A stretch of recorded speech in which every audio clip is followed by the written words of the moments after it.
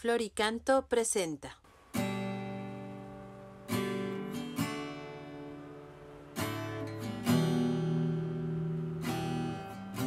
Lunes de la decimoprimera semana del tiempo ordinario. Escuchemos el Evangelio de San Mateo en el capítulo quinto, versículos del 38 al 42. En aquel tiempo Jesús dijo a sus discípulos, han oído que se dijo ojo por ojo, diente por diente, pero yo les digo que no hagan resistencia al hombre malo. Si alguno te golpea en la mejilla derecha, preséntale también la izquierda. Al que te quiera demandar en juicio para quitarte la túnica, cédele también el manto. Si alguno te obliga a caminar mil pasos en su servicio, camina con él dos mil. Al que te pide, dale y al que quiera que le prestes, no le vuelvas la espalda. Palabra del Señor. Mis queridos hermanos, hoy en la primera lectura nos encontramos con el pasaje de la viña de Nabot, como es por el rey Ahab y Jezabel su esposa, como es oprimido y le quitan su viña al pequeño, al pobre, al desprotegido. Y esto despierta en nosotros que contemplamos hoy en nuestro mundo cuántos inocentes mueren en nuestro mundo por los intereses sociales, económicos y políticos de multinacionales o de gobernantes. Cuánta tarea tenemos los cristianos para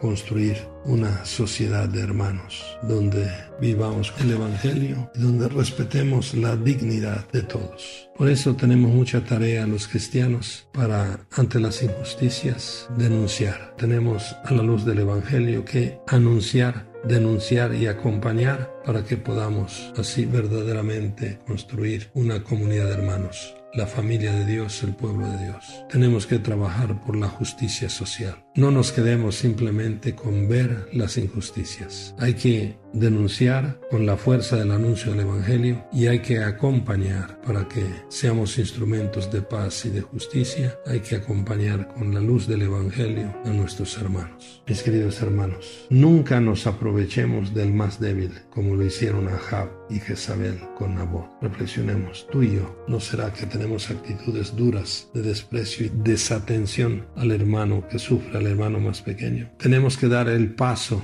de la ley del talión a la ley del amor. El Señor Jesús es desconcertante. Nos pide en el Evangelio una nueva manera de relacionarnos y por tanto de reaccionar ya no con actitudes de violencia, de venganza, sino inclusive hasta del enemigo, hacerlo nuestro hermano. Tenemos que amar a todos, no detenernos nunca en el amor. Siempre hay que dar un paso adelante en el amor. Ni siquiera nos dice el Señor ante el hombre malo. Para el discípulo ya no cabe el ojo por ojo o diente por diente. La violencia no es parte de la vida del discípulo. El amar inclusive al hombre malo es un reto de todos los días. Tenemos que optar por el amor, que es optar por Jesús y su reino, que nos lleva no a la violencia, sino a vencer el mal a fuerza de bien. Al dejar actuar el amor de Dios en nosotros, nos tenemos que relacionar de una nueva manera. Bendiciones.